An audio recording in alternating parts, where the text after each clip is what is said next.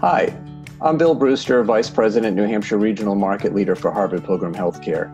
We're delighted to be able to present the fourth Healthy Community Impact Award this year to a very deserving organization and one that is very much aligned with Harvard Pilgrim's own mission of building healthy communities.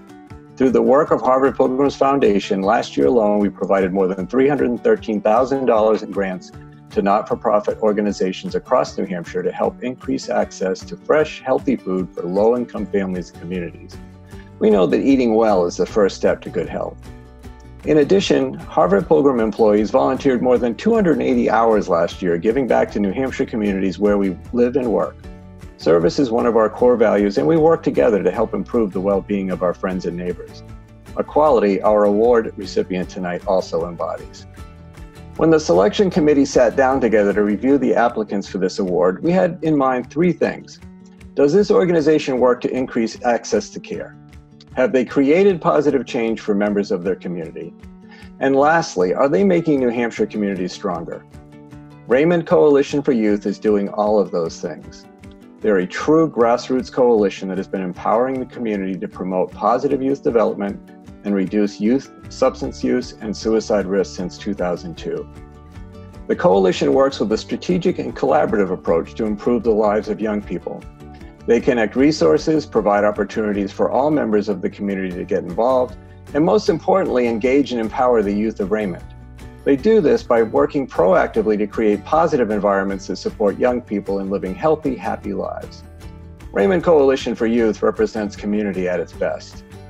Please join me and the New Hampshire Center for Nonprofits in congratulating Raymond Coalition for Youth, this year's recipient of the Harvard Pilgrim Healthcare Healthy Community Impact Award and join me in welcoming Celeste Clark, Executive Director, to accept this award. Hi, I'm Celeste Clark, the Director of the Raymond's Coalition for Youth. It is my honor to be accepting this 2020 New Hampshire Nonprofit Impact Award on behalf of the Raymond's Coalition for Youth. This certainly isn't how we expected to be accepting it.